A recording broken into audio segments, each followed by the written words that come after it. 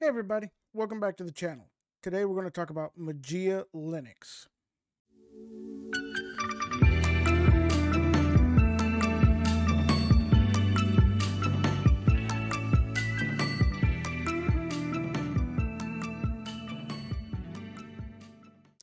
What is Mageia, you may ask? Well, Mageia is a fork of Mandriva. Uh, it is based off of well, mageia is a Greek word that means enchantment, fascination, and glamour. So uh, I think that basically what they're trying to say is that you're going to be razzled and dazzled by mageia. It uses your standard desktops, you know, your KDE, GNOME, and XFCE. However, though, as with many other distributions, you can install alternative desktops such as tiling window managers like i3, you know, uh, floating window manager like OpenBox, Ice Window Manager, you know, all those kind of guys. Those guys that are commonly, you know, bigger and maintained just desktop environments are out there as well. It uses the DNF package manager. So in if you've used Fedora, uh, you are going to be very familiar on how to use this package manager from the terminal. It does have a graphical user interface for it as well. So uh, you know we can we can definitely uh, take a look at that and we'll take a look at that here in just a second when we go and check it out. So i just wanted to say that uh, mageia from what i've known and what i've seen of it is pretty pretty pretty actually clean a clean um, distribution. So let's go ahead and pop pop in and, and let's you know dive right into it and take a look. Okay, so when you first boot into Mageia, this is what you're greeted with. You have an actual uh, welcome window that comes to it. Now, this welcome window is pretty awesome because it's got a place where you can go read on release notes, of course. You know, it's got uh, community center as well, which is like, you know, I guess like maybe forums. I'll click on it and open it up and see what it looks like. Oh, it's places, it's, it's basically a panel where you can go to and see new things like they're, they're announcing their Mageia 9 alpha is out. Um, their blog is here in English. Uh, how to contribute, you know, toolboxes and stuff like that. So, I mean, there's lots of, um, and also their location down here in the bottom bottom left for IRC channel, forums and blogs and stuff like that. So, they it just basically is a, a place for you to go to be part of their community and get a hold of their different sections and aspects of their Mageia community. That's actually pretty nice. So uh, you have ways of contributing and also, do, you know, donations. Of course, you can join them. You can file a bug report on it. So I mean, that that's it's it's typical run of the mill, beautiful. I like the minimalistic view of this welcome center because normally most welcome centers have, you know, a lot that's compiled there into it, and so I mean it's pretty nice. Of course, you got buttons at the top for the welcome. Then you got you can adjust your media sources from core, non-free to tainted, which means there are packages and audio codecs that are needed for certain multimedia files, you know, that may infringe on the patents or copyright laws of certain countries. So basically, they're the non-free or the, the actual proprietary ones. got backports and of course, I got notes. So for update, you click here to check it for system updates. Uh, MCC uh, is here for your media uh, Mageia Control Center, which we'll take a look at in a minute to install different software. You have the Rpmdrake, you have DNF Dragora as well, which is the front end GUIs. Like if we click, click on it, oh, wait. And we'll type in my password, and here we are, DNF Dragora. And this is what their package manager looks like, the front end for it. So, I mean, it's it's pretty nice. It's it's a front end graphical user interface for DNF, is what it is uh, kind of similar to uh, the Synaptic Package Manager. Uh, for applications here, uh, these are things that, that you can install, common ones that are, you know, featured ones. You got games, internet, video, audio, office, graphic stuff, system, and programming. What I will tell you is they are not making it difficult at all to install any kind of software from this built into their you know welcome menu to the actual DNF Dragora uh, the package manager GUI um, that kind of stuff. So and then this will tell you your configuration. Obviously you're running Mageia 8 which kernel you know the desktop is the GNOME Wayland session. Uh, it even gives you a user ID which is something different that that I wasn't aware you know that it did that but it does. And then um, I'm connected to the network. Uh, I, I guess if I click about, it tells me, oh, the release 2.16 and the actual authors of this distribution. So, uh, and then more information is just that. That's basically the same as the beginning to the welcome. so, uh, if you need to find any more than what they already know initially showed you in the welcome, then you know that's it. You know, I mean, that's what it started off as. It goes to there. So, anyhow, that's a look at the welcome page. Now, this is the about, which I already went over, which we just saw. Now, this is using a the GNOME version. Uh, there's, like I said, the other one is the KDE version that you can download and the XFCE. Uh, any other desktops that you would like, you have to install through DNF Dragora. Now, it's a modified GNOME version. As you can see, the activities uh, usually pops up along the bottom, but this one's actually on the left hand side, and your uh, virtual desktops are over here on the on the right, which pop out. So that's a little bit different, but other than that, I mean, aesthetically, it's pretty nice. Uh, I'm kind of fond on that. I, you know, with for real estate, you know, with large monitors, that's fine. Uh, smaller monitors, that may be kind of annoying. I'm pretty sure that through if you download and install the GNOME the GNOME tweaks and all those other little things that you could download in GNOME to help you customize it, you can do that. So either way, there is where that's located at. And on it, they have their web browser, they have their mail client, they have their messaging client, then they also have their audio player, they have picture viewer, and they have LibreOffice pinned as your favorites, file managers, and documents as well. And then the welcome, the the control center. Now this is what I think you don't you don't find a lot of control centers in Linux distributions. So this is kind of awesome that they have this embedded. I'm I'm kind of a fan of control centers um, because it puts everything there at your in one area.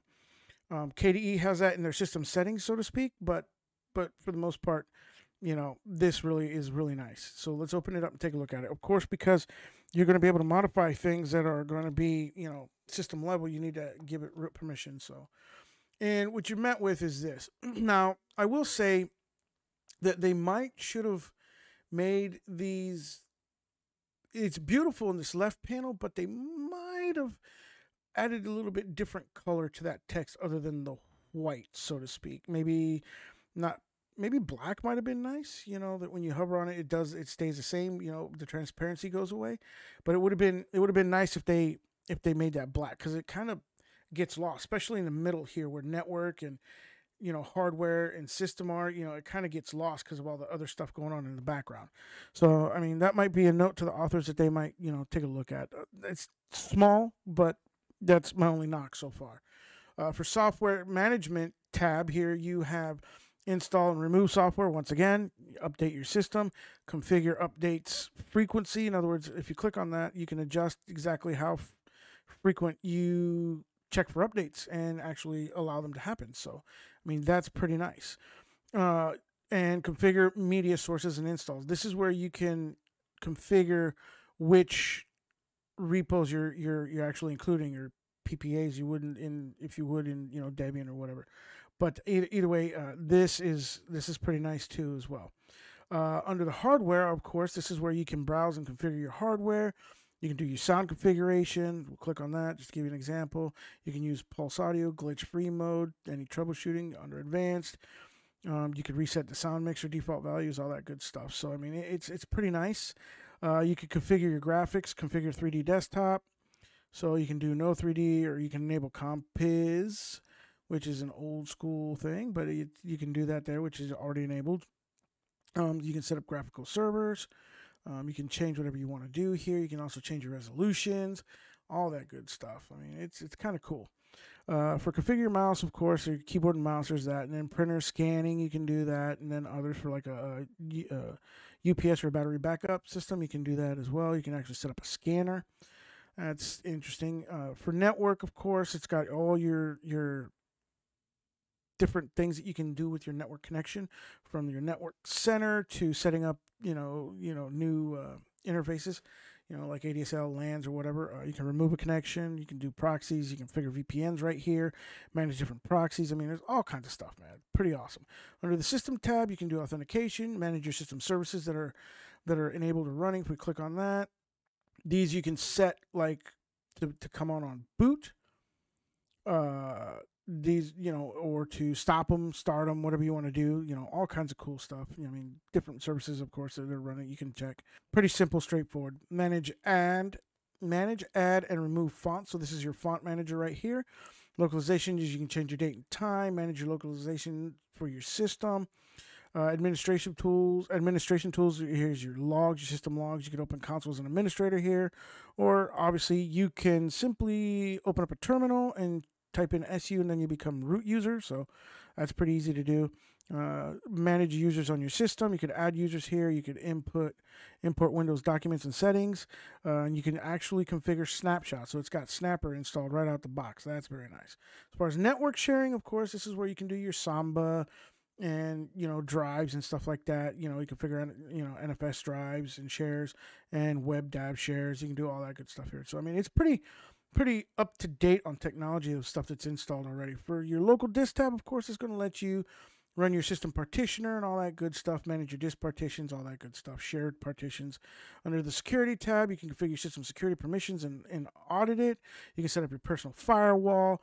You can set up an IPv6 personal firewall. There's, you know, configure authentication from Mageia Tools advanced setup for network interfaces as well and firewalls and of course your parental controls are buried here.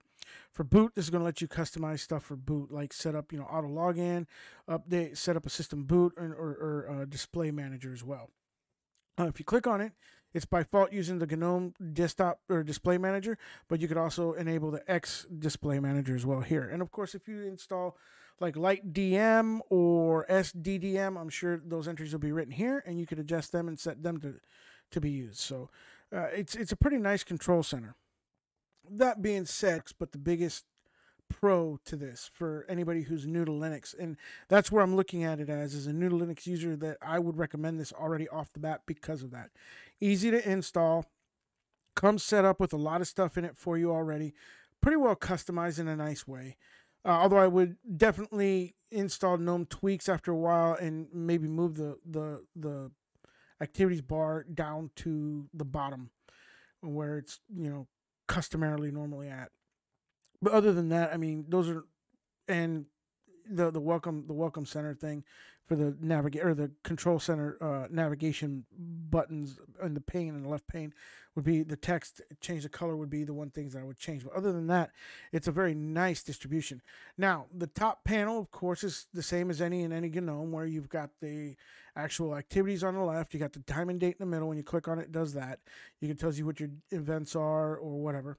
Or you can also put it on, if you click on it, of course, you got the do not disturb button on the bottom left. And your right hand panel, you've got would be your system tray. Uh, but it's got your power session, your volume manager only. If you click this little the little drop down, this gets you to, you know, for settings. If you want to go to settings, takes you to your settings, which are your typical GNOME settings that are available to you. You know, I mean, uh, power displays. You can change your resolution here as well. Uh, scaling as well. Scaling, let's apply. Wow. Revert changing. We're going to change that back. I mean, you got to be blind to, to, to need 200% scaling. I wish you could scale like, you know, from 50 to 175 to 100 to 120, you know, whatever. But I'm sure, you know, as you get further along the line, there are commands that you can implement to do that. So, uh, you can learn how to do that. Of course, you can, you know, adjust pretty much any and everything through here. This is where you're at. So to do any theming or anything like that, you have to install GNOME tweaks. So, but uh, at any instance, that's your settings manager right there. Uh, and of course, you've got you can lock your screen and you can log in and log out through here or turn off. It gives you your power session. Suspend, restart, power off, of course. So let's go ahead and look and see what is all installed. So we're going to show the applications. So you have Archive Manager, Calculator, uh, Cheese, Clocks, Compiz, Compiz settings, um, Dasher, DNF config, your document viewer, which is your PDF viewer, documents, which I don't know if it has LibreOffice installed, which it does. It does have LibreOffice installed, so you could use LibreWriter as well. Um, the control center, the Mageia Welcome for music. It's got no music player. You got your network control center, your power statistics, printing, planner, which is your you know day planner that's based you know from GNOME. Uh, let's see, planner. Yep, it's for the GNOME desktop, and it's point zero. 0.14.6 version, so that's I believe their latest version.